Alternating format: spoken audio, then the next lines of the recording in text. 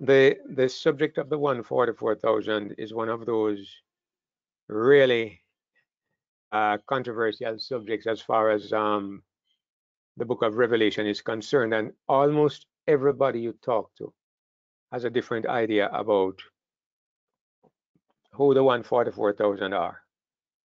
Um, I, one thing I've discovered is that if you are going to study study any subject, you need to have a, a, a an understanding of the the broader picture. Because if you if you get the, the the the broader easy to fit the parts whereas if you don't see the broader picture you try to fit square pegs into round holes. You try to put things where they don't belong. You just relation and i think we're all understanding this because that is one of the, the things we have been looking at and studying from week to week. So on this question of the 140 call it true. Who are these 144000 why are they mentioned in revelation what what is god trying to say these people? Why does he bring them up at all? Now, I'm going to kind of give you, I'm going to give you in a broad outline what I want to be the context of the book of Revelation. I, am going to do that. Promise that some other time we're going to take a closer look at what I'm about to say now. Now, the book of Revelation is is is the final. It's the final chapter in the great that's taken place over the ages between two great kingdoms. Please remember this.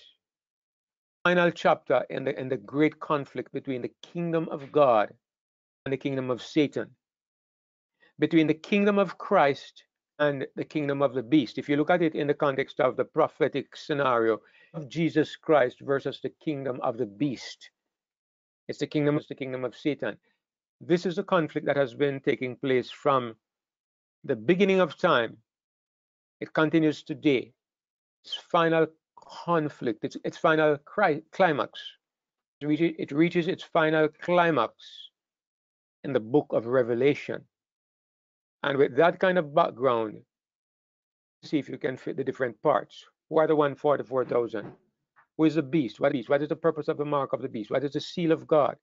What, what are the trumpets? That con context of the last great conflict between these two kingdoms. So the 144,000 is in there. Some to say that the 144,000, here, here's my, my description of who they are where we start the study. The 144,000 is a final part of the kingdom of, of, of God. It's the it's it's the it's the it's a showpiece. Let me use a, a word from understanding. The 144,000 is a showpiece of God's kingdom. In other words, these are the people that God will use to enter the universe. I'm going to show you what being of, of God really means. Now, you and I are a part of God, but up to this point, up to this, none of us has ever demonstrated in, in, in, the, in the fullest way a gospel can do in a person. None of us has ever done this. We don't we don't have to do this in order to be saved who, who, who have Christ, we are going to be saved. That is never in question. 44,000 are, are a group of people that God has chosen in whom He display His glory in full display. That is who the 144,000 are. Now, we're going to go more deeply into, into the subject and see if we can understand it. Now, I'm going to just, um, I'm going to go to the Bible. And I'm also going to illustrations to kind of support what I'm, I'm saying. So let's go to the Bible first of all. And um, we're all are aware that there are two places in the book where the 144,000 is mentioned. And um, we're going to look at those two places. Uh, the first place is in 7, and the next place is in Revelation 14. And um, of course, I believe that there is a reason why they are mentioned twice. Revelation, the first part of Revelation, 4 until chapter 11, description of the events of the end of time, but it is perspective of the kingdom of God. The emphasis, it's it's it, the emphasis. If you look at Revelation, eh, if you look at those chapters, I think that is taking place in heaven. The first in, in the first part of the, the, the section in chapter 4, John is taken up into heaven and he sees something happening. This is where John John looks and he sees the book and he sees the throne of God and he sees the four living creatures. This is where John sees what is happening in the first part of the book.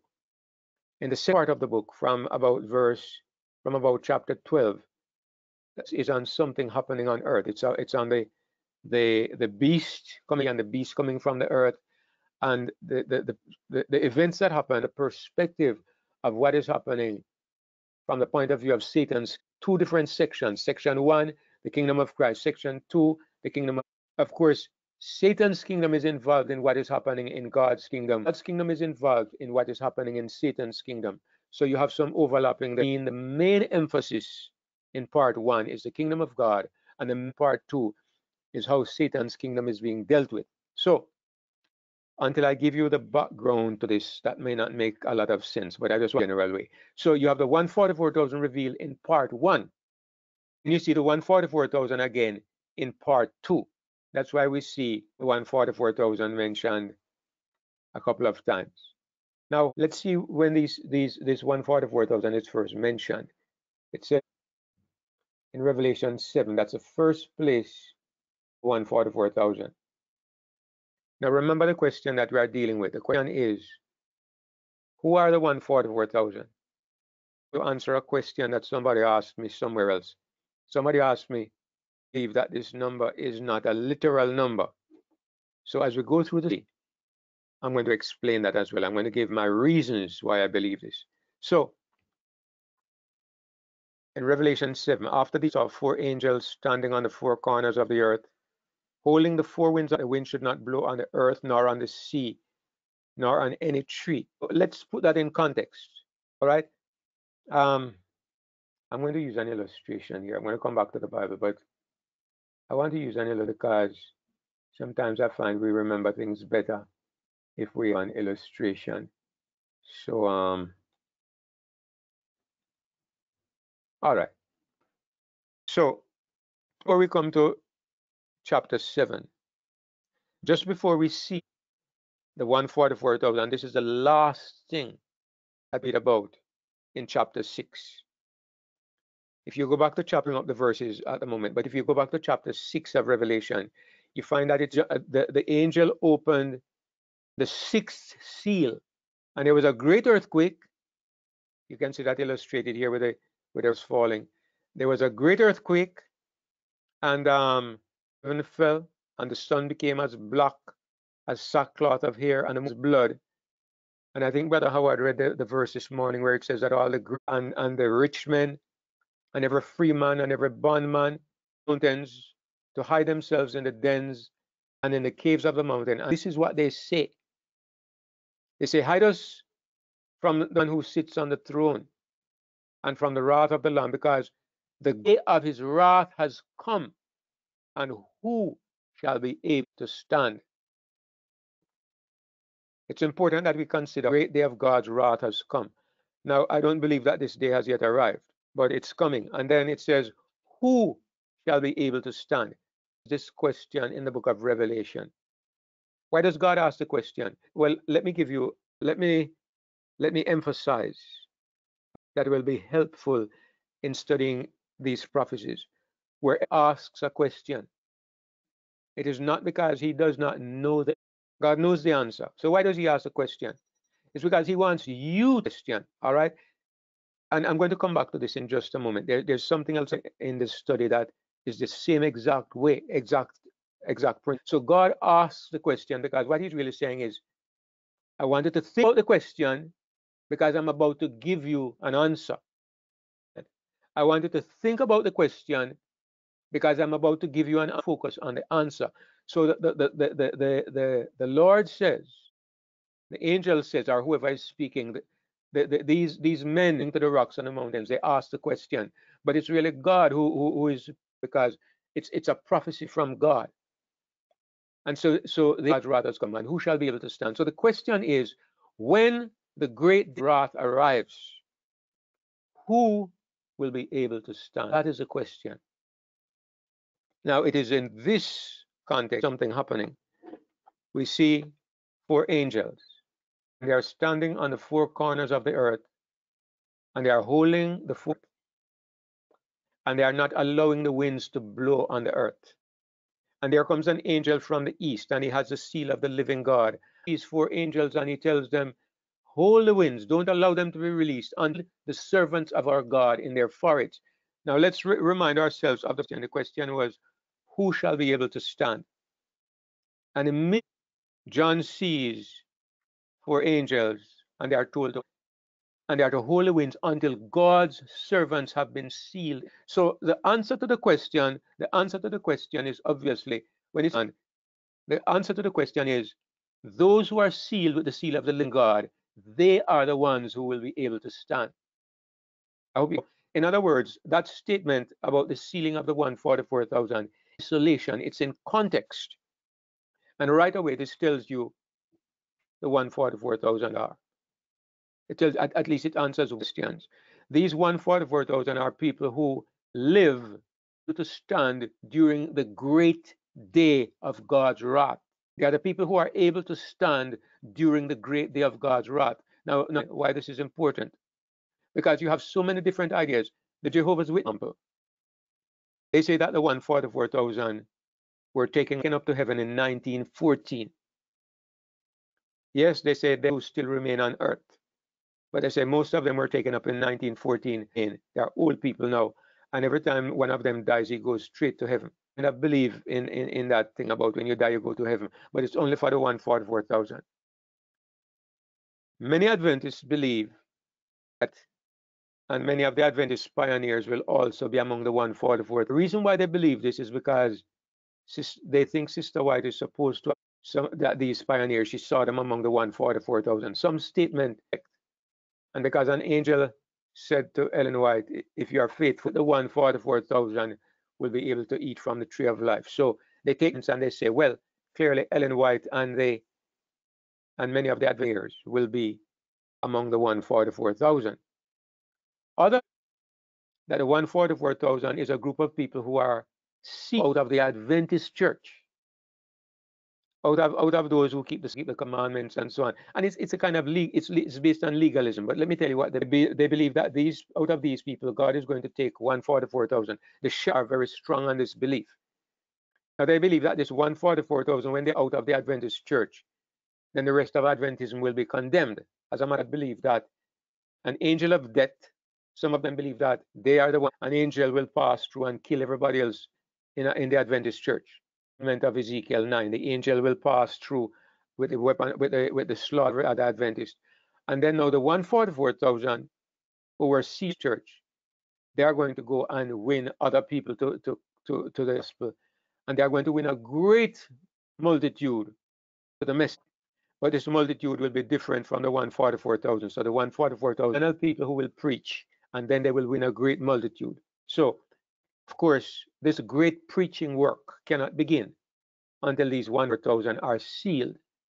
So these are some of the beliefs, and that's why I am emphasizing what God says here through these people. Through the, when He says, "The great day of His wrath has come; who shall be able to stand?"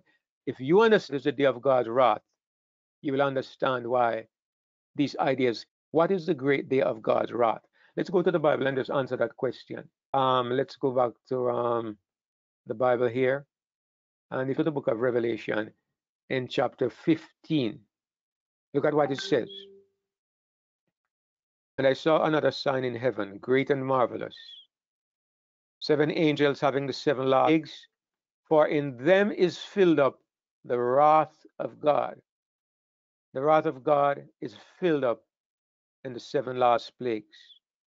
So when the great day of God's wrath arrives, we are talking about the seven last plagues.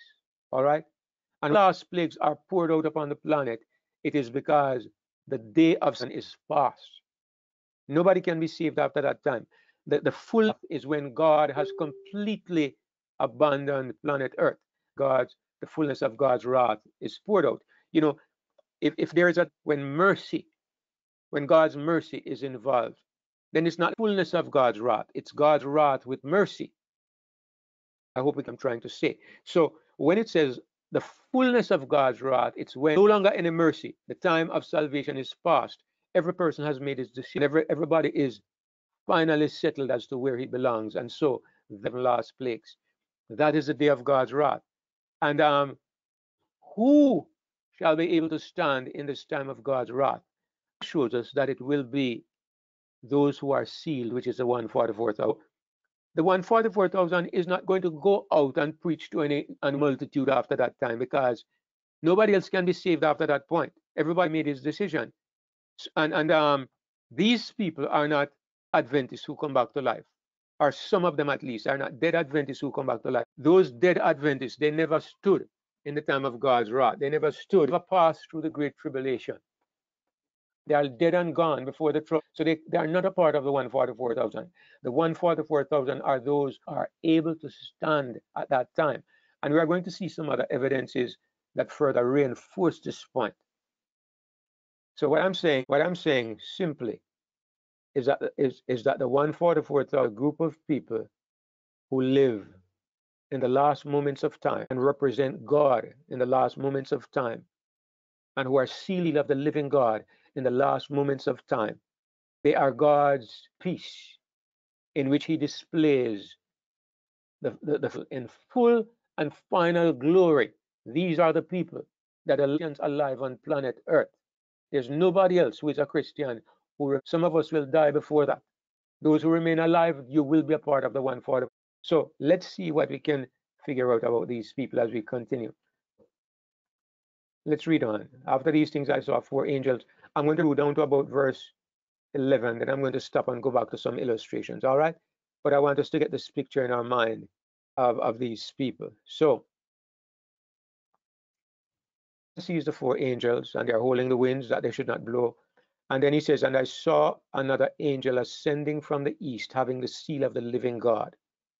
With a loud voice to the four angels to whom it was given to hurt the earth and the sea, saying, Hurt not the earth, neither the sea nor the trees, the servants of God in their forests. Notice what is to happen. These angels have the power to hurt the earth and the sea. Last week we were discussing of what does earth mean and what does sea mean. And we suggested that the sea means the sea focuses on, on the old, that part of the earth which was traditionally highly populated, the prophecy, the times of the prophecy. But now in a general represents the old world and the earth representing the new world that part of the world. Notice that the angels have the power to hurt both the earth and the sea meaning that what is coming is universal. It's not going to be located in just one part it's the entire planet that is going to experience this. This is what is referred to as the day of god's wrath. Revelation 7 Revelation 6 says, the day of his wrath, who shall be able to stand? Revelation 7 says, let me take you back a little bit and show you who will be able to stand. So if you understand, the question at the end of chapter 6, under the seventh seals, all right, God's wrath has arrived. God's day of wrath has arrived. You can stand in this day. To answer the question, you have to go back before the day arrived and look at the preparation that is made for people to stand at that. So chapter 7 is really taking us back before seal numbers. Do we all understand what I just said? If you don't, give me a sound. It's it's it's understand, but I understand, I know that when one person is talking, sometimes you kind of zone out, and sometimes a, a, an important point misses you. But is there anybody who did not understand what I just said? Let me know. Let me go back over it. All right. All right, brother Arthur. Right. Thank you. Um, saying is that Revelation, the chapters in Revelation are a sequence, like you're reading a storybook.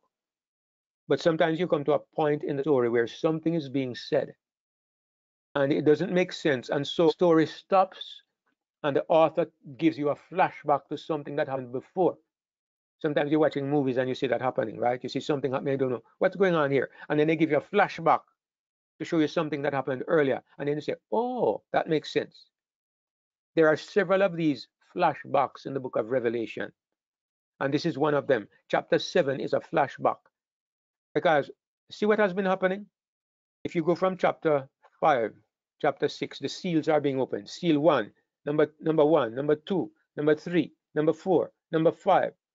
And then number six says, the great day of wrath has come, and who is able to stand? So the question has to be answered. Who can stand? So God says, okay, I'm going to answer that question. Let me give you a flashback to show you some people who are be, who will be prepared so that they can stand when that great day of wrath comes. So chapter 7 is a flashback. In chapter 7, God takes you and steps back to a period before seal number 6. Because remember, if seal number 6 represents the great day of God's wrath, then this sealing of the one for the four thousand has to take place before that time. So chapter 7, which is answering the question, takes you in a flashback. All right, so I hope that is, I hope the second time it's clearer. All right, so the angel says, back to, to chapter 7, we are, we are within the flashback now. So an angel is coming from the east and he has a seal of the living God. And he cries to the angels who have the power to hurt the earth and the sea. These angels are the ones that are going to release the winds, meaning that after these angels let go, then the seven last plagues are going to come. The great day of God's wrath is, is wrapped up in these four winds, these seven, sea, seven plagues. So this angel with the seal of God, he says, do not hurt the earth. Do not hurt the sea. Do not hurt the trees till we have sealed the servants of our God in their foreheads. So Nothing is to happen until God's servants have been sealed. Obviously, once they have been sealed, then bang, the winds are going to be released. The great day of wrath is going to come. So the sealing of the 144,000 is one of the important events that has to happen before we actually come to the end of time. In verse 4 it says, And I heard the number of them that were sealed. This is an this is an important point. I'm going to refer back to it. So I encourage you to take note of what it says. Everything that it says here is important because if you don't see what is being said, you, you get confused. John says, I heard the number of them which were sealed. Now, just let me ask you something. Since we all are familiar with the book of Revelation, where is John at this point in the vision? Where is John? Give you a moment to think about that and then I'll answer. All right. In actual fact, John is in heaven. Right? John is not John is actually at this point in heaven, and um, I'll show you what he's doing there. If you go back to chapter chapter four, let me go back to chapter four. In chapter 4, John says, After this I looked, and behold, a door was opened in heaven. And the first voice which I heard was as it were of a trumpet talking with me, which said, Come up hither, and I will show thee things which must be hereafter. And immediately I was in the Spirit, and John, John is gone through that open door in heaven and he sees God sitting on his throne. John is in heaven.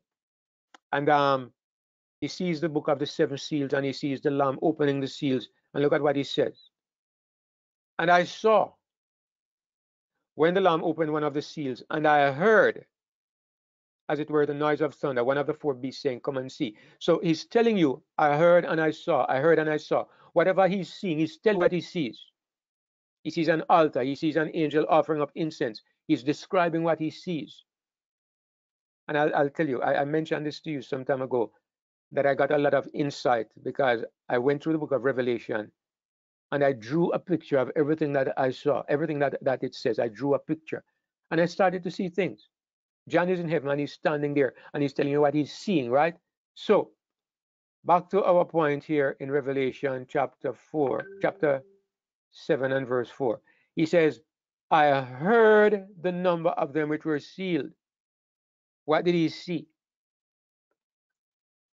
He saw four angels, four angels standing on the four corners of the earth. He saw another angel coming from the east. He he hears the number of those which are sealed. He does not see them. He hears. That's a very important point as we continue to study this issue. So here's a number of them which were sealed, and there was sealed 144,000 of all the tribes of the children of Israel. And it goes on to tell you what were the tribes that were sealed. I won't go through them at this point, right? I'll come back to it in a moment. It mentions the tribes, the 12 tribes, and it mentions 12,000 were sealed from each tribe. And in verse 9, It says, After this I beheld. Now he tells you what he sees. After this I beheld. After this I see. Notice, let me remind you what he saw. He saw four angels standing on the four corners of the earth. He saw another angel from the coming from the east with the seal of the living God. He saw nothing else. He heard the number of those that were sealed, and it tells you where they came from. And now the next thing he says, after this I beheld, and lo, a great multitude which no man could number, of all nations, kindred, and people and tongues, stood before the throne. So he's still in heaven. He's still before the throne of God, and he's telling you, first of all, he saw four living creatures there. He saw the Lamb standing before the throne. He saw the great multitude of angels around the throne. But now he says he sees a great multitude of people that no man can number standing before the throne. They have on white robes. They have on white robes, important, and they have palms in their hands. Let me go back and share my, my, my pictures for just a moment. All right, so first of all, let me comment on the, the tribes. These are not the 12 tribes of Israel. There, there, are, there are two tribes missing, and there's one tribe there that does not belong there. Um, those of us who are not so familiar with what happened with the, with the tribes of Israel, we might not understand, but there's no tribe of Joseph and there's no tribe of Levi among the 12 tribes of Israel. Actually, before Jacob died, Jacob told Joseph that his two sons were to inherit instead of him, Joseph. And the two sons of Joseph were Ephraim and Manasseh. So Ephraim, the son of Joseph, gained an inheritance among the 12 tribes, and Manasseh also gained an inheritance.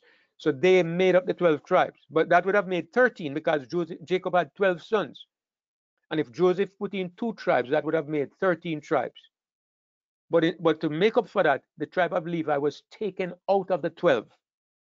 God took Levi out of the 12 tribes, and God says, Levi will have no inheritance in Israel because Levi were, were, were made into an, a tribe of priests. So the entire tribe of Levi was a priest, the Levites. And so they had no inheritance among the 12 tribes. But in Revelation here, for some reason, God has changed things up. He, he brings back in Levi and he puts him among the 12. And he takes out Ephraim. He leaves Manasseh, the other son, but he takes out Ephraim and he puts back in the father, Joseph. And he puts back in Levi and he takes out the tribe of Dan. So Dan is missing and Ephraim is missing and Joseph and Levi have gone back in. So that's a strange thing about these tribes in Revelation. And what exactly does it mean? To be honest, I cannot give you a perfect answer. Some people have suggested that um, Dan was a tribe that was outstanding in idolatry, and maybe that's the reason, right? Um, in in a play in one place in the Old Testament, it says that Dan is a serpent. When when um, Jacob was prophesying of the of what the tribes would do, he, he says Dan is a serpent standing by the way or lying by the way. He will bite the, the, the heels of the, the rider, something like that. And of course, Ephraim, Ephraim became the head of the 12 tribes that, um, the 10 tribes that rebelled, the 10 tribes that rebelled against the line of David and became the, the other 10 tribes of Israel. They came to be known as Ephraim. And they were, they, they of course rejected God and they turned to idolatry. So maybe that's why Ephraim is removed. I don't know. Because it says he, Ephraim is bound to his idol, leave him alone. Right, there's that statement in Hosea as well, where God, referring to those 10 tribes, God says, Ephraim is joined to idols, leave him alone. So, so Ephraim came to be representative of those 10 tribes that rebelled. So maybe that's why Ephraim is missing. I don't know. But in any case, it won't affect how we view the 144,000. But here's something that I want us to consider. Um, let me see if I have this on my list. All right, I'm going to come back to this. All right, I'll just, I'll just deal with it here. Is this 144,000 a literal number? Now, at one point, I believed that it was a literal number. And I promoted the idea that it is a literal number, but I don't believe this anymore. And um, I believed it was a literal number primarily because, I mean, I, I, I got my understanding of prophecy from an Adventist background and I got a lot of help but also there were some things that they, they were a bit of a hindrance. Um, so, you know, Ellen White makes a statement. She says that the 144,000, the living saints, she mentions the living saints, 144,000 in number.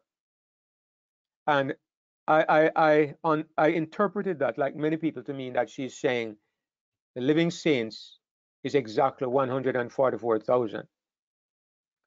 It could be that that is what she means, but it could also be that that is not what she means. But in any case, I, I prefer to these days to, to, to, to, to stick with the Bible, especially when I'm interpreting things like prophecy. But the first question I ask myself is, I'm going, is, is, is, is, a, is a question regarding the way we reason. It's the first question you see on the screen. How does a literal number help? What I'm, I mean is that every number in, in the book of Revelation. Every, every bit of information in the book of Revelation is supposed to help us in, in what is coming. It's supposed to help us in some kind of way. Now, suppose that all the people who lived through the last time of trouble is exactly 144,000. Not 144,001, not 139,999, but exactly 144,000. Suppose that's the exact number. Please tell me, who is going to go around and count? How is that going to help me and you? How, how will I know that we have 144,000 people? Are we going to do a census? Are we going to have a church membership that we, we count how many? I mean, the Shepherd's Rod might be doing something like that, but I mean, those of us who who who, who think a little more carefully, we re we realize that in the time of trouble, in the conflict that is coming, we are not going to be going around numbering how many people are involved. That's not our business. That's God's business. So why would a literal number of exactly 144,000 be necessary for us to know? Because it cannot help us to know whether there, there is exactly 144,000 or not. So that's the first reason that makes me think. Think about it. This number is likely to be a number with a spiritual significance instead of a literal number. That's the first reason. Let me add something to that. The numbers in Revelation, the numbers in prophecy generally, they are intended to give a character evaluation. Let me say this. Most of the numbers, especially in prophecy, they are designed to give a character evaluation or an evaluation of some characteristic. They are not literal numbers. For example, when it says that in, in Revelation chapter 5, it says Jesus has seven horns and seven eyes. The lamb that John saw, first of all, is a lamb. Jesus is not a lamb. He has seven horns. It's kind of stupid for anybody to say that because it says seven. Jesus has seven, seven horns or seven eyes, literally we know that seven means complete, right? That's how we understand the, the number seven. It's it's a it's an evaluation number. It's a characteristic evaluation. It's not a numerical value. This is why people who say that the seven lamps of fire burning before the throne represent seven angels, I think they're also very foolish because what they are doing, they are they are they are suggesting that God has seven literal spirits instead of understanding that the number seven is an evaluation number to say that the characteristic of perfection, the characteristic of complete completeness is what God is focusing on in this number seven. Now, the number 12 is a similar number. Wherever you see the number 12, it usually is associated with the kingdom of God. It's God's kingdom number. It's a number that's that uh, signifies the characteristics of God's kingdom. Let me give you examples the, the, the, the, the, the type of the kingdom is the tribes of Israel. The type of God's kingdom was Israel, literal Israel. And literal Israel had 12 tribes. The foundation of the kingdom of God, the, the real kingdom now, is the 12 apostles, and there are 12 persons involved.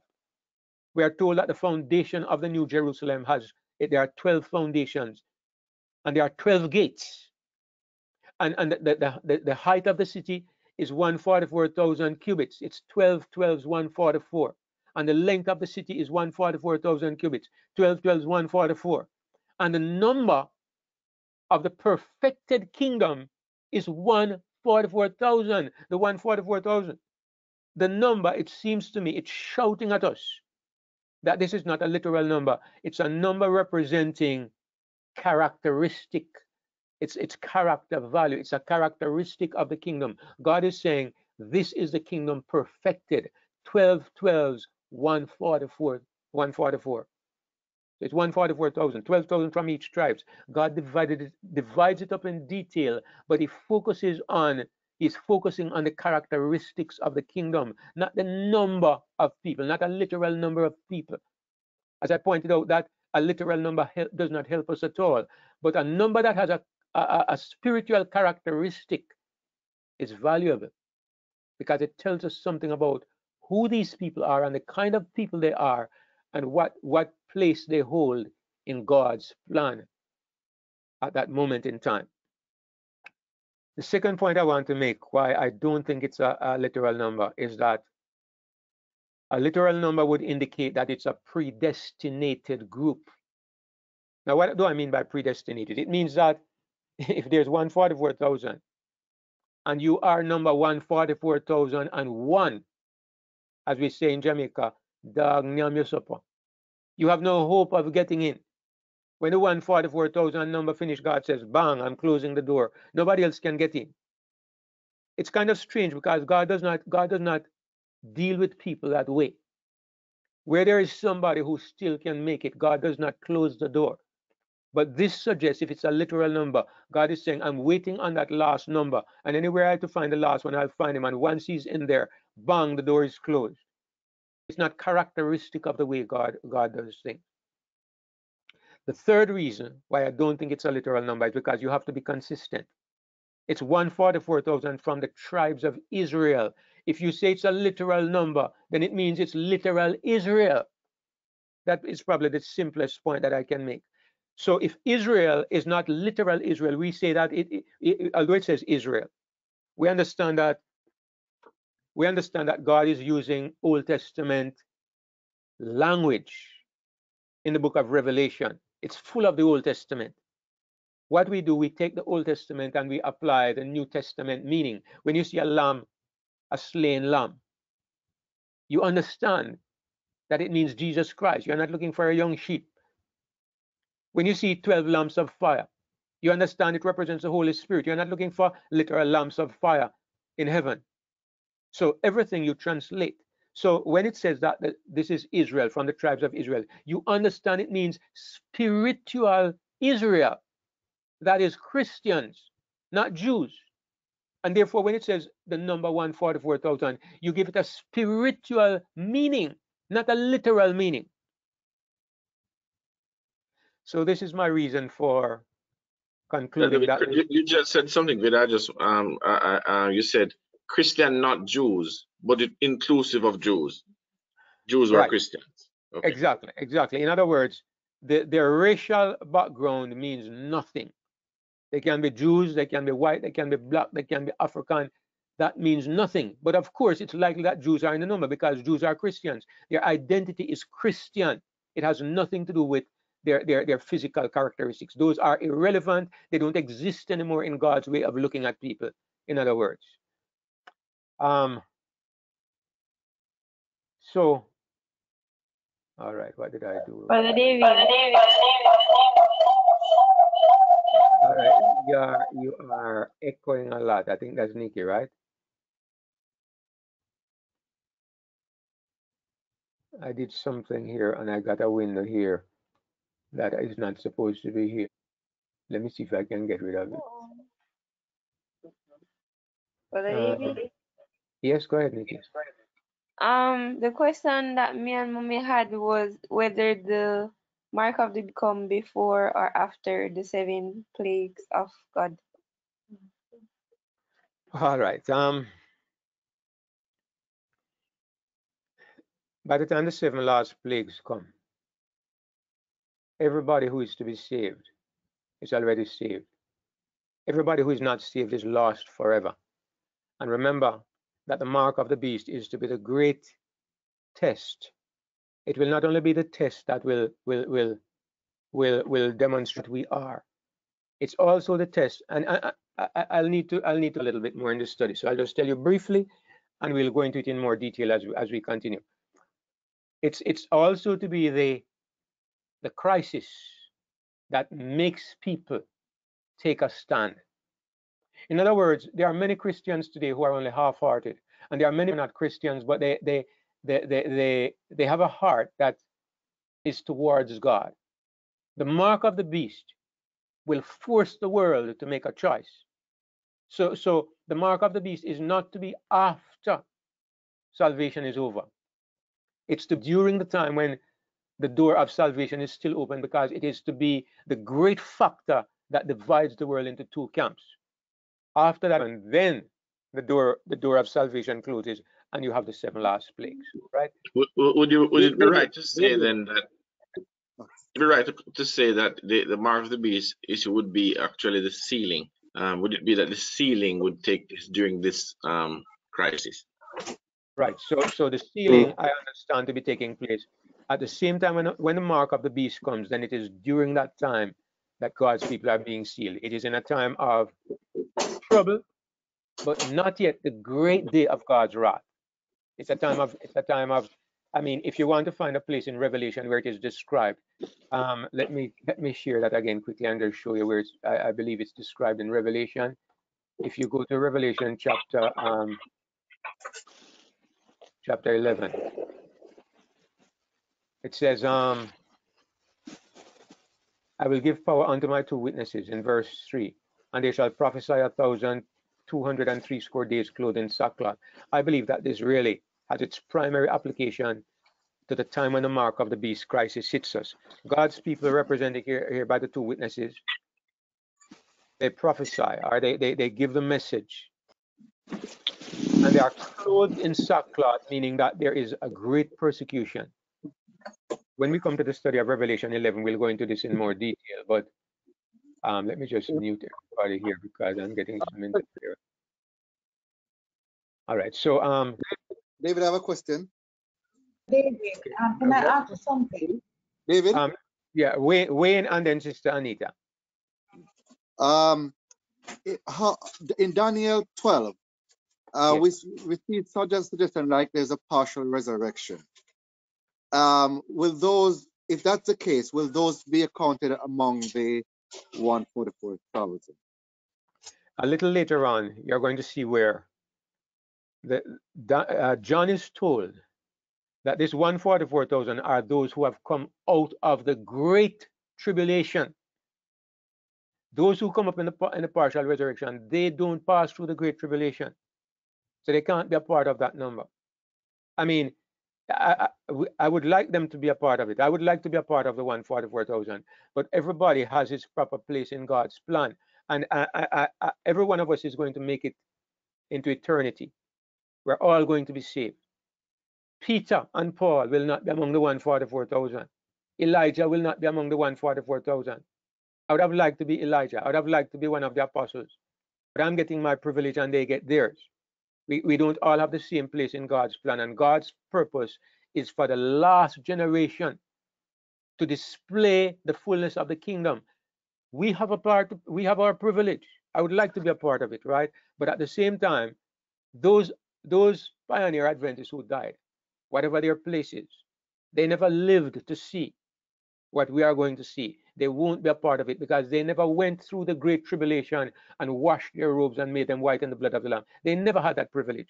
So that is not for them. And um, the, the partial resurrection that we see, yes, Jesus spoke of it. He says, he says that um, many of those that sleep in the dust of the ground, Jesus says that when he comes with clouds, even those who crucified him are going to come back to life. So, so God has this in mind, a partial resurrection right at the end so there are certain privileges that people have, but it's different from being chosen to represent his kingdom in that last great crisis. So I, I, yes, Wayne, that, that's my thought on that. Sister Anita, go ahead.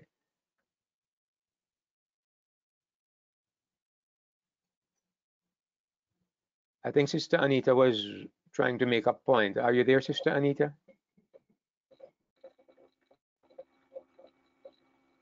All right, we may have lost her because I don't think she would be shy to speak up. but um, all right, she will come back, no doubt. I'm still here. If you don't hear me, my uh, my internet problem. But I'm here. Uh, all right, I hear I'm, you now. Go ahead. I'm here. What I'd like to ask. Are you hearing me? Yes. Hello. Yes. Yes. Um, what I'm asking to say um um the mark of the beast, yes, is um is where God given everybody upon this earth a choice to either choose him or, or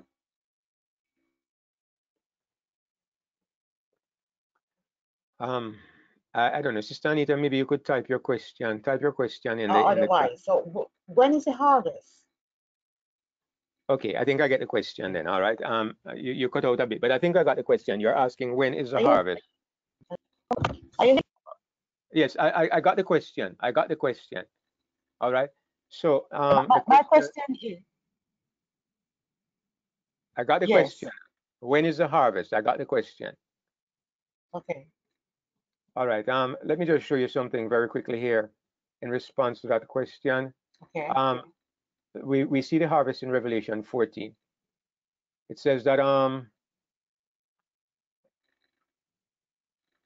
it says, and as in verse 14, Revelation 14, I looked and behold a white cloud. Upon the cloud one sat like the Son of Man, having on his head a golden crown, and in his hand a sharp sickle. And another angel came out of the temple, crying with a loud voice to him that sat on the cloud, Thrust in thy sickle and reap, for the time is come for thee to reap, for the harvest of the earth is ripe. And what follows is a harvest. But look at what it follows. It follows the three angels' messages. I saw another angel fly in the midst of heaven, having the everlasting gospel. And the first one talks about the hour of his judgment is come. And the second one talks about Babylon is fallen.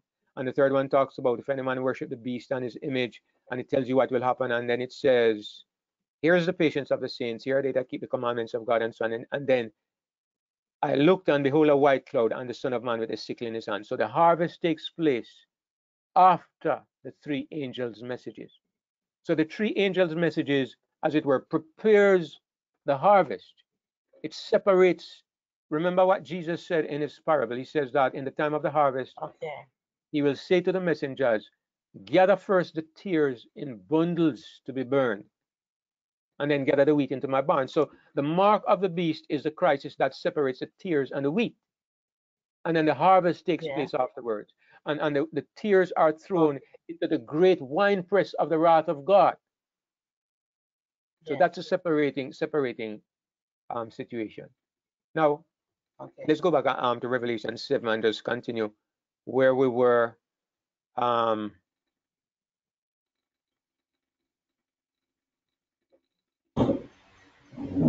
brother, brother David, just brother. yeah, um, just to say, I, I believe that the the the number itself is um is a literal number, and it is is because I, I have not found any precedents in the in the in the Bible to um make a number be be another number. What I mean is that in the, in the in the prophecy of the um, in the prophecies you, you you normally see, for example, ten horns. It is not the, the, the ten that is symbolic, but the horn. Right? So it's we, we know that the, the horns represent kingdoms. But it is a, is a truth or a fact that there are 10 kingdoms. We know that there are seven churches. This is not the seven that is symbolic, but the churches. We know that there are um, um, um, um, other numbers, One 144,000. We, we know that there are 12 tribes. It's not the, the, the 12 that is symbolic, but the, the, the tribes of Israel. So I'm, I'm not seeing where there is another number to be assigned to a, a number that is already given. While the numbers may be symbolic or mean mean something, they, they in, in themselves they are, in my in my perspective, they are also literal. So we know there, there are seven church seven churches, not seven literal churches, but the fact is there are seven. All right. Good. So so uh, they are not seven. As you say, not literal seven. Not how literal. Many, not literal. Many, how many churches are there really? No, I'm saying not literally seven churches, but we know that the churches represent periods of time. But it, it is seven periods of time. So the seven remains seven. And, and, and in, in a sense, this is how we have interpreted it. When you say we know, yeah. what we know is that we have an interpretation. Because in, in, in actual fact, the literal truth is that there were seven literal churches in Asia Minor. So how we how we interpret that when we take the prophecy and interpret it and, and, and, and make it and, and give it put set it within the framework of the bigger picture, there is a question as to how you interpret those seven churches. But we, we have set it in the framework of seven periods of time. However, I understand what you're saying, and I, I have objections in my mind or reasons that I would use to probably um, overrule some of what you said, but I will just leave it there so we have those two opinions. have those two opinions because um, I think I think that you can you can I mean you could apply that to the seven. I, I, I use examples of the seven horns on the head of Jesus. I mean, yeah. what what it would suggest is that the only number that has a symbolic meaning is the is seven. You have the the the, the 144,000 cubits that measure the holy city. Is it literally 144,000 cubits? If this is true, it looks like a cube because it's also 144,000 cubits high. It's a it's a it's square on all sides if you take those literal literal measurements. So there there there, there are some of the numbers that perhaps we could say we could make an argument that they are literal because um the context dictates that it is so. But there are some of the numbers that that um if you if you if you apply it that way, it really it really borders on on on the incredible or even even um, ridiculous. Like for example, the measurements of the holy city. You know.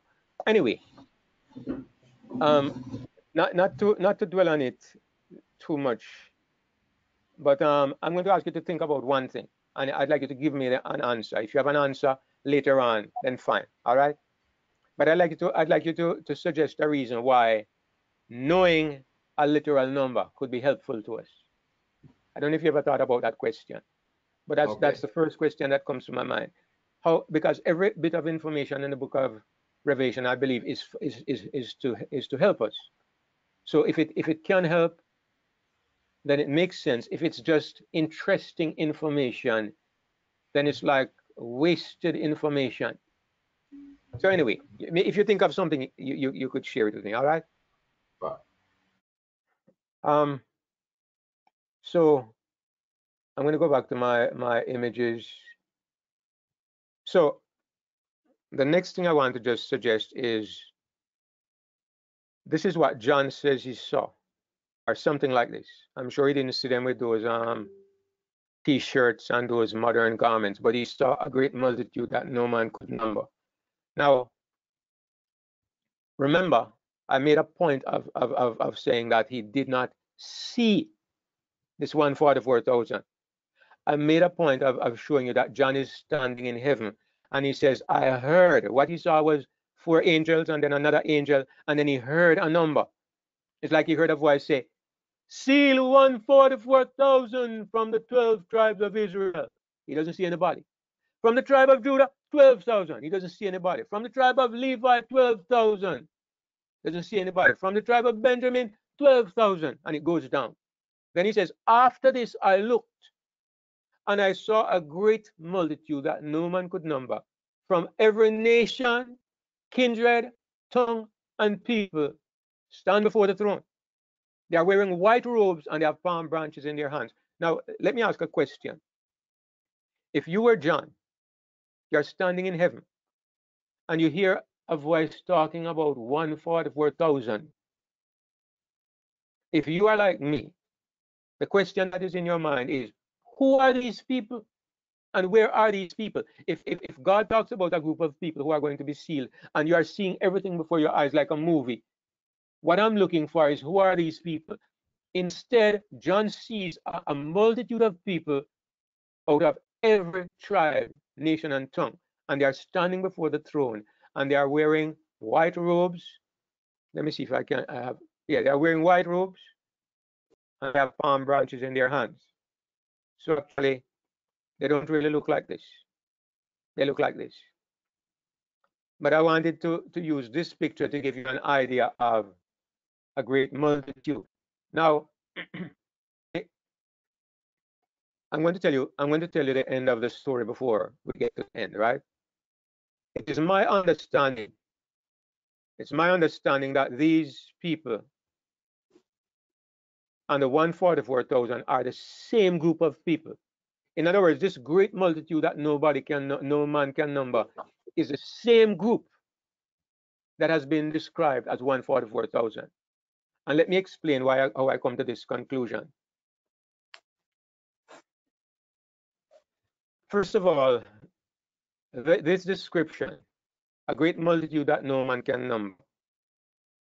Is there a number? I don't know how many people are going to are going to I don't know how many people are going to be saved, but I'm going to tell you this. If you give me long enough, I can count all the people who are going to be saved. It might take me 6,000 years if I count one per day. and I doubt it will take that long either. But I, I, you, you can count the number. There, there is no such number of people who are going to be saved that nobody can number. In other words, when John says a great multitude that no man can number, he's using a human expression to tell you what he sees. He's expressing what he sees.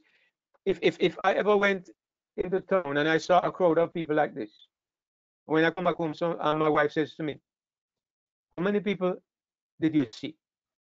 In Jamaica, we have a phrase. It's an old phrase, but sometimes people still use it. They say, "I saw people like sun, like sun." When they say like sun, they mean vast numbers, or I might say numberless, because that's another phrase that people like to use here when, when they're talking about a very large number. It's a man numberless. Or, or sometimes we say like dirt, people like dirt, people like sun, numberless. It's a human expression. And when you hear the expression, you simply mean, you simply understand it to mean it's a great number of people. It's a vast number. Now look at this picture that I have on the screen. Do you think we have 10,000 people there? I mean, that's kind of like a ridiculous question because absolutely not. What we have in this picture is not 10,000 people, right? I, I, I can't estimate numbers well, but I'm pretty sure it may not be even as much as maybe 2,000, right? Now, now, if you can imagine 144,000 people standing in one place, let's say it's a literal number, and you could imagine 144,000 people standing in one place, you would think that this is a multitude that no one can number. I've seen, I, I saw um, the stadium in London when, when during the 2012 Olympics when Usain Bolt was running. I've, I've looked at some of these stadiums that hold up to 90,000 people. And when you look at the vast numbers, it's kind of like an exercise in futility to think about even trying to count the number. And that is what um, I believe this is what John is saying. He says, I saw a multitude that no man can number. Now, now, the first group of people that he, he, he, he okay, the first group of people that he that he, he referred to, all right, the 144,000. This number is not a number that he saw. This number is a number that he heard the, what he saw before the throne of God is what he saw. In other words, what he sees and what he's hearing is not corresponding. This is not this is this is a device that God uses in the book of Revelation. I'm going to show you. I'm going to show you in another in another place where the same device is used. Um, if you go to Revelation 5, John is about to cry because nobody is found worthy. No man is found worthy to open to read the book. And one of the elders says, Weep not. Behold, the lion of the tribe of Judah, the root of David, has prevailed to open the book and to loose the seven seals thereof. So what does John hear?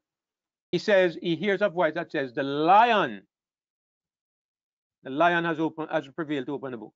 He says, And I beheld, and lo, in the midst of the throne and of the four beasts, and in the midst of the elders stood stood a lamb. What do his ears hear? His ears hear the lion.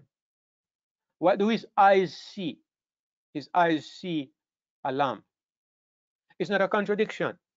God is giving you two kinds of information about Jesus. one of those pieces of information you hear with your ears, and the other information you see with your eyes. And if you're foolish, you think that this is a contradiction. It's not a contradiction. It's two different sides of the same coin. So you have this in Revelation in some places, and this is one of those places where God says one thing, and when you when John looked, he saw something else. It's the same picture from two two different perspectives. And I believe this is what happens in Revelation 7. It's God showing you this group of people from two different perspectives. And here is the important point. I'm going. I'm, we, we, we are still going to look at this more closely and further back up what I'm trying to say. Can you finish one minute, please? David. Go ahead, Brother Marlon. Go ahead, Brother Marlon. All right. Um, nowadays, people are saying that it's impossible for God to save 144,000 out of all the whole entire universe right now, the earth itself, the earth. But remember, um, in time of Noah, and remember taking um, Lot is just a little city still, which is they, they were just um, um three persons saved from the city that burned so, um, but, but nowadays, people is really saying that it's impossible for, for God to save out 144,000 at the end because there's so much people who and there's so much church and so much so-called religious religious people nowadays that it's impossible for 144,000 to be saved from the earth. Right. I mean, people, people, people, people's opinion doesn't really mean anything. What what means something is what what the word of God says. And it could be as few as 144,000. It could be less. In my opinion, from my perspective, from my understanding, it could be less, it could be more. Brother, Brother Frederick uh, thinks it's the exact number, and I know there are others who might think that way. I mean, to me, it's not a strikingly important question. It's not strikingly important whether it's literal or, or, or, or a spiritual number, but I suppose it might be important because somebody might say, "My, what a what a small number of people." But I, I understand that the main emphasis in this chapter is, is, is one thing. The question is who is able to stand? And this group of people identified as the 144,000 is the subject of this chapter. There is nobody else who is un, who is who is concerned with that answer. Who shall be able to stand? Some people say that this great multitude is the redeemed from all ages. They don't belong in this chapter. They have no place in this chapter because this chapter is not asking who will be saved eventually. It's asking who will stand in the great day of God's wrath. So it's not two groups of people, it's one group. And John hears the number, then he sees the number. Is it 144,000 or is it a great multitude that no man can number? It's the same. Whether it's 144,000 literally, if you saw 144,000 people standing in one place, you would describe it as a as, a, as innumerable. You would say numberless. It's a number you can't really try to begin to count if you see if you see them at one glance. So I don't think it's literally a multitude that nobody can number. I mean, John is just saying, I saw a whole lot of people. And they are standing. Hello, Brother David. I have a question about the text. Okay, Nikki. Can you go back to the text where you was talking about the lion? All right.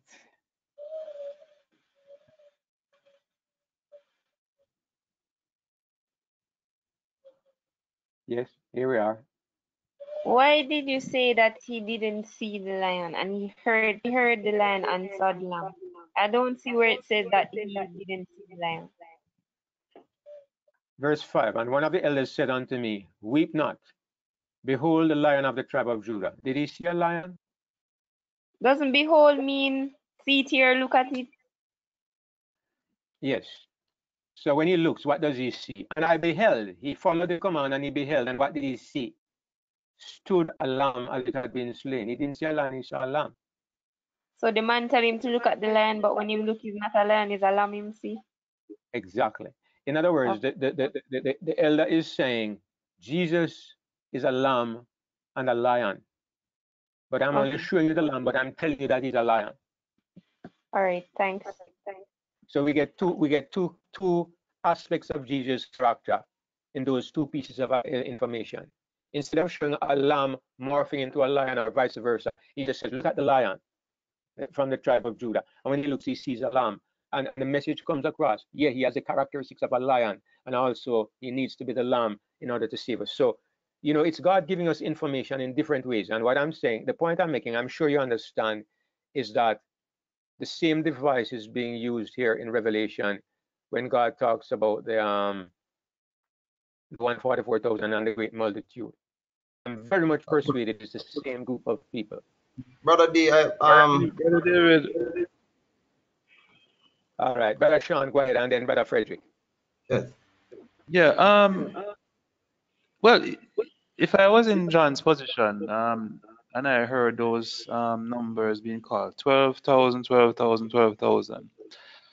I mean, based on my uh, um, analysis, upon seeing the multitude, this great multitude, next in line, then based on my um, human um, analysis, it would have been easy for me to come to the conclusion that is 144 literal if that was the case. Mm-hmm. But I mean, for John to say that he saw a great multitude that no man could number, mm-hmm. it seems, or it wants to give the impression that it is more, much more than 144. Okay. And not a literal number. I don't think John would have had much opportunity in his life to see a crowd of 144,000 in one place. We might be accustomed to it, but if I saw a crowd of 144,000 in one place, or more or less, I really wouldn't have be able to give you the first clue how many people there are. The, our stadium in Jamaica holds 30,000. If you ever go into halfway tree square when it's election time, you have no idea how many people are there. So I don't know, I don't know how how John analyzes this. But what I'm saying is that what, one of the things I'm trying to I'm trying to get across is that there is a difference between God's statement and John's statement. God never told John it's a number that cannot be numbered. I'm sure God wouldn't say that because God can number any number. God told John 144,000. When John looks at it and John says, a, a multitude that nobody can number, that's not a real number because there's no such number that exists uh, of people who will be saved. That's not a that's not a number. That's a, an assessment based on what John sees. But anyway, there there is more evidence to back it up. The evidence I'm not out of the evidence yet. So as we go further along, you will see that it has to be. All right. So I've just I've just I'm just halfway through the evidence. You are going to yeah. say, Brother Frederick. Yeah, I, I must admit and confess that I also um had difficulty with I grapple with the numbers, right? With the 144,000 and the the statement that there's a great it, he saw a great multitude. And I agree with you that the great multitude which no man could number that he saw is the same people that the angel said would be sealed. Right, the same 144,000. He only heard the number, but he, he saw a great multitude that he says no man could number. And as it relates to numbers, you know where I found the answer for this? In the book of Numbers. A matter of fact, in the very first chapter. Now, look look at um the, the, the last um verse um 14. It says, And I said unto him, Sir, thou knowest, regarding the, the group. These are they which came out of great tribulation and have washed their robes and made them white in the blood of the Lamb. I see that the Levitical um, system. The, the answer is found in the in the in the Levitical system that God set up. Matter of fact, those who wash their robes are those who were were were, were to work in the temple. A matter of fact, it says in verse 15, Therefore are they before the throne of God and serve him day and night in the temple. This points to a specific group of people who had to wash their robes before they were entered into the to work or to serve God in the temple. And this points to the tribe of Levi. Now, as you read Numbers chapter 1, God says, We're going to number all those 20 and upwards who are able to go to war. And but don't number this one, the tribe of Levi. So it is not it is not that the, the num number is innumerable or no man is able to number it. And I agree with you. If it even um 20 trillion, there must be a system to number 20 trillion. Otherwise, the number couldn't exist. But what, what God is saying is no man is authorized to number this group. It is not that it is innumerable by man, but man is not authorized to number it. And that is why John only heard it, but then he saw. All right. So if we look back in the Levitical system, then we, we, we see exactly what, what is going on here. And, and the fact is, um, God did not intend to use Levi only in the temple. And that is why we see pointed out here with the 12 tribes, because what God wanted was the firstborn of all the tribes of Israel. But since the, the, the, the abomination at, the, the, at Mount Sinai, when Moses said, Who is on the Lord's side? It was Levi who stood up. God said, I don't want the firstborn again. All right, so, so count out the firstborn and give me Levi. But God's intention was that it was the firstborn that was to, to work or to do the work that Levi did in the temple. And so here we see God now um, counting out the firstborn. I mean, not literal, the literal firstborn of the tribe of Israel, but he's counting them out. The first the first fruits of the tribe of Israel. So, yeah. as I say, it is, it is not that they can't number it, but it is no man is authorized to do it because even David, when he numbered Israel, he numbered also Levi. He shouldn't have, should not have done that. That was one of the big great sins of David. All right, that's an interesting insight. I never compared it to the um, to the Levitical, Levitical system and, and and that part, but that's an interesting insight, and it's worth looking at more closely. Um, so here, here is something to consider. Uh, there's a, a couple of questions I want to ask. I know our time is running down. I'd like to finish this evening, but um, I don't want to rush too much. So let's see where we where, where we get. So the first question is, how does John know that these people are from every nation, kindred, tongue, and people. Now, we can understand that the first statement the angel said to him, Hear the voice that says to number these people from the 12 tribes of Israel. So, the first question I would ask is the 12 tribes of Israel, are those Jews? Well, obviously, we're talking about spiritual Israel, so they can't be Jews. How does John know that these people are from every nation, kindred, tongue, and people? Well, if I look at this group here, on the screen before me, I see mostly white people. So it would be kind of hard. But if I look at this group, if I look at this group and I ask you, which nation do you think these children are from? You'd be kind of hard put. I mean, today we have a uh, we have the integration of the races in different nations. So this could be Jamaica it could probably be the United States of America because you have nations integrated. But if I ask you, if these were literal Jews, they wouldn't look like this because Jews are very racially distinct because they, they, they, don't mix, right? You have some some groups like this, but it, uh, John probably knew that they were from all nations, kindreds, tribes, and tongues because when he looked at them, he saw Chinese, he saw white, he saw black, he saw Indian, he saw different colors and different hairstyles and different groups. So he knew they were from all nations. Remember, it's not God who told him that, where they are from. He's describing what he sees. After this, I looked and I beheld from all nations. So he's looking and he sees. Now, look at these children. Are they Jews or are they Gentiles? And you will answer. It depends on whether we are speaking in a literal sense or in a spiritual sense. If you are dealing with the old covenant, these could not be Jews. They would have to be Gentiles. I don't know if any Jew might be among them, but definitely they, they couldn't be all be Jews. They would have to be Gentiles. But if you're dealing with the New Testament, every one of them could be a Jew. Because a Jew in the New Testament is somebody who is born again. It's not somebody based on a racial category. So if we if we think about this and go back to the images that we looked at before, this great multitude from all nations, kindred, time, and they could be Jews. They could be from the tribes of Israel. They are spiritual Israel. They are not really spiritually. They are not from every nation, kindred, uh, tribe, and tongue. Spiritually, they are from Israel.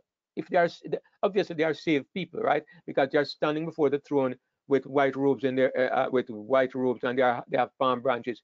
They are Israel. This is Israel. So the 12 tribes of Israel that were mentioned before are not distinct and separate from this group, this innumerable group. It's the same Israel. Same Israel. There's no difference in terms of identity. They are all Israel. And as I said before, nobody has a place in this chapter except those who will be able to stand in the great day of God's wrath. Now, the next thing that, that, that I want to focus on, I'm going to go back to the Bible and I'm going to try to finish in 10 minutes because I don't want to keep us too long on a complicated subject. But let's go back to the Bible. And let's go back to Revelation 7 and look at some things that are said here. Look at this. And one of the elders in verse 13. Well, even before I go there, I just want to share something interesting. This what this this group of people before the throne, who I say is the 144,000, they have white robes and they have palms in their hands. They cry with a loud voice, saying, Salvation to our God. Who is He? Salvation to our God, the Trinity, which sitteth upon the throne. One of the strong places in the Bible where you see clearly that God is not a Trinity. Somebody's in heaven looking and he sees the people who are finally saved and they are not worshiping a trinity. They are not calling a trinity god. They say salvation to our god who is sitting upon the throne and to make sure that they, mean one person exclusively. They, add and unto the lamb. The lamb is not the god. Is not our god he is a son of god and all the angels stood round about the throne and about the elders and the four beasts and fell before the throne on their faces and worshipped God, God on the throne. There's brother, brother D. Yes, brother Frederick. I hate to interrupt, you know. I agree with you, you know. I hate I to be. I, I, don't like it, you know. I, I, I like I like that way. We're in a card all but I mean I, I agree with you. It's just that I want to highlight something here before you go so that it brings a little more strength to what you're saying.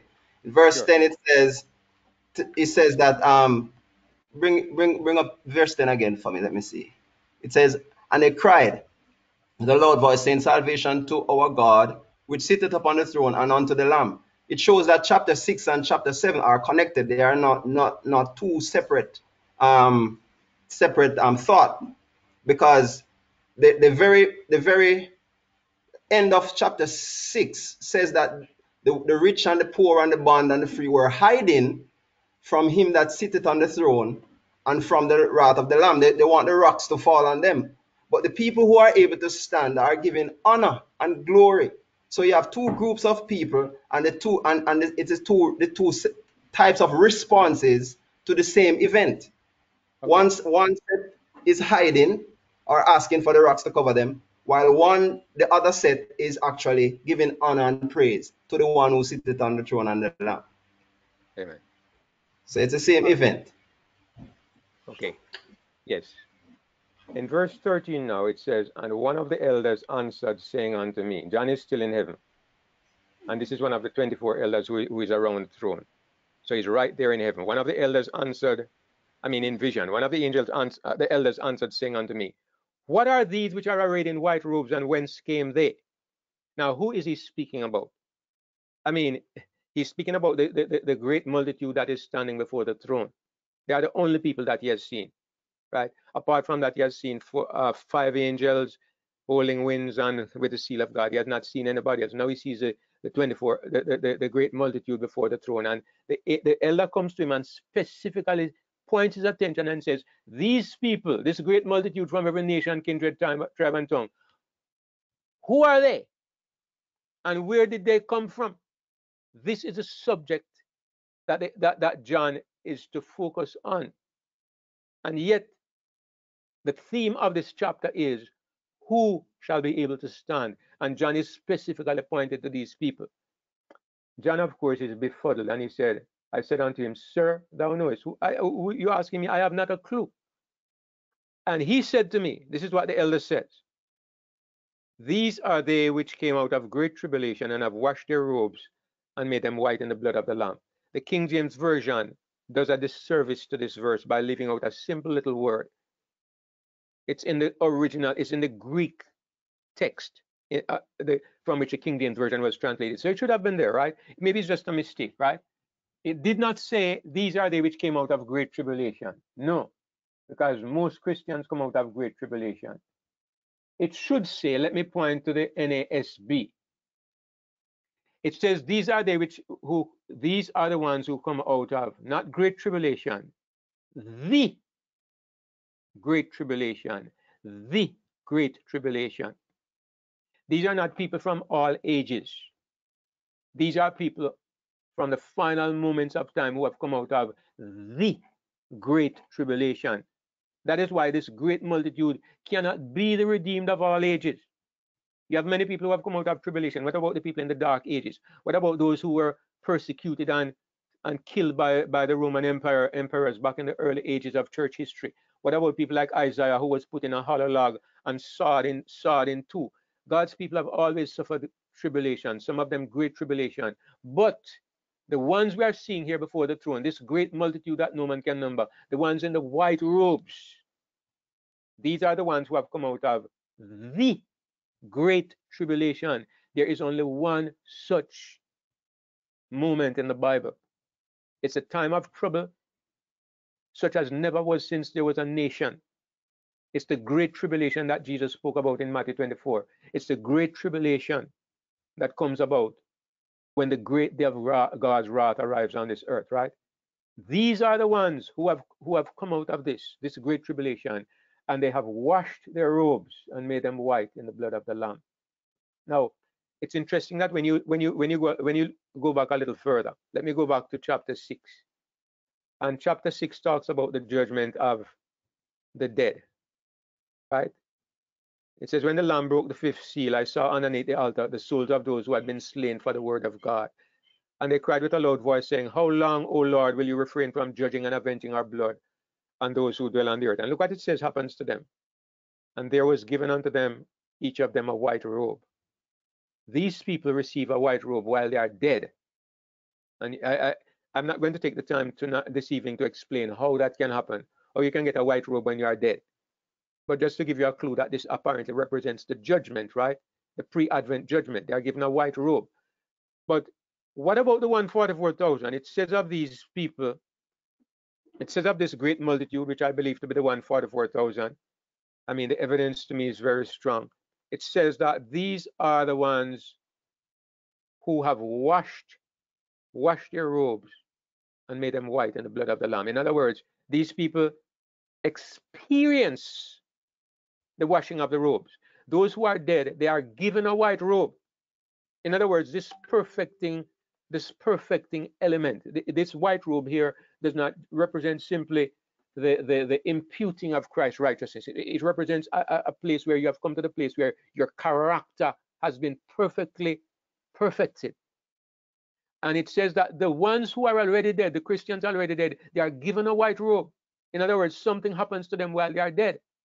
But for this 144,000, they pass through God's washing machine while they are still alive. They pass through a great tribulation which purges and cleanses them because God has something in store for these people. God uses them as his as his his showpiece. He presents to the world in a moment of greatest darkness, he says, This is what the gospel really is intended to produce. And so these people, for this reason, they are before the throne of God and they serve him day and night in his temple. Brother, Brother Frederick made a, a, link there between the work of the, the Levites and that privilege, and that's a that's a, a very uh, interesting connection there. But also, just looking at looking at it superficially, what it tells you is that these people they have passed through an experience that nobody else has ever had. Nobody else have ever passed through this experience. This is the subject of the book uh, of Revelation chapter seven, and this is why I'm persuaded that the the the great multitude and the 144,000 are two different sides of the same set, same people, same group of people, just two different descriptions. Both the great multitude and the and the and the, the, the number that John heard. They are Jews. They are, they are, they are from the 12 tribes of Israel. The great multitude spiritually. And and the, the, the, the group that John heard audibly right? They are audibly, they are they are physically described, but we are also to translate that to spiritual. So it's the same group of people. 144,000, a great multitude that no man could number. Well, we have a disagreement whether it's a literal number or a spiritual number. In my opinion, in my opinion, to apply a spiritual interpretation is helpful. One of the things I've, I've learned about numbers in Revelation, Adventists have a way that they count, they add up the numbers they, they, they assign a value to each letter in a, in, a, in, a, in a supposed title of the Pope. The Pope is supposed to be referred to as the Vicar of the Son of God. Adventists say that this, this name appeared on, on the triple crown of the Pope. This, this, this, this triple crown cannot be found. If you do a, a search on Wikipedia or encyclopedias for the triple crown of the Pope with the words Vicarius Filii Dei, Nobody can find it. it the, the, the, Catholics deny that it was ever there. Um, now, is the Pope called the Vicar of Christ or is he called the Vicar of the Son of God? If you say he's the Vicar of Christ and you turn that to Latin, the numbers won't add up to 666. You have to be specific. You have to word it a certain way. Vicar of the Son of God, and then you you you apply a numerical value to each letter and you end up with 666 and you have to uh, apply zero to some of the letters. Now it's it's it's, it's convenient, but it's interesting that you can you can use the name Ronald Reagan and you end up with 666. You can use the name Ellen Gould White and you end up with the same 666. To me, this is interesting. But for me, the number 666 it's focusing more on some spiritual characteristic and I believe if you apply, if you approach the number in this way, you come up with something that is more helpful. But anyway, I won't go into that this evening. I won't go into that this evening. Um, Plus, think, Brother I, David. Yes, Sister Diane. I was thinking, um, I don't know how we can apply that verse to the first beast when it's talking about the second beast anyway. The 666 does not apply to the first beast. We make it apply to the first beast. But if it were to apply to the first beast, it should be, it should be at verse 11, at the end of verse 10, following the description of the first beast. But it's not. It's at the end of uh, verse 11 through 17, which is all dealing with this, what's going on with the second beast. Um, okay, I understand what you're saying. Um, if, if, if, I think I think you, I think I think if we look at it closely, it can be made to apply to the first beast. But um, I don't think we have the time to look at it this evening because it's going to drag us off a little bit, and I think everybody is already tired. So I don't I don't think it's right to cram every, uh, cram so much. But if you bring up that point next week, we we, we can look at it again. Okay. All right. Well, I, am going to I'm going to in the interest of temperance, I'm going to um call our discussion this evening to a, a halt. I know that um there may still be um some unanswered questions in people's minds, but um when, when I close, after we close, and um I'm, I'm going to ask that if anybody has uh something else to say, we can discuss it kind of like freely. And um, but I want to give those who, who, who wish to go the opportunity to leave because I think we can overdo it a little bit if we go. It's been an hour and a half, and that's more than enough. All right. So let's just bow our heads and give thanks, and then we can continue kind of um, free form afterwards.